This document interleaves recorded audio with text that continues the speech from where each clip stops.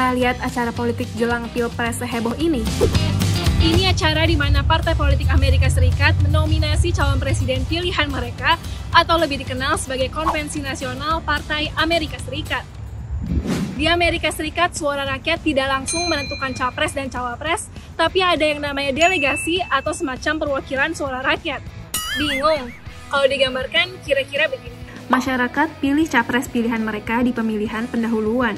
Semakin banyak suara untuk seorang capres, semakin banyak juga delegasi yang capres dapat. Para delegasi akan laporkan pilihan rakyat di konvensi nasional, dan capres perlu mayoritas suara delegasi untuk maju ke arena pemilu. Loh, tapi kan sekarang cuma ada satu capres per partai besar, dan mereka juga sudah diasumsikan bakal bertanding. Terus apa gunanya konvensi?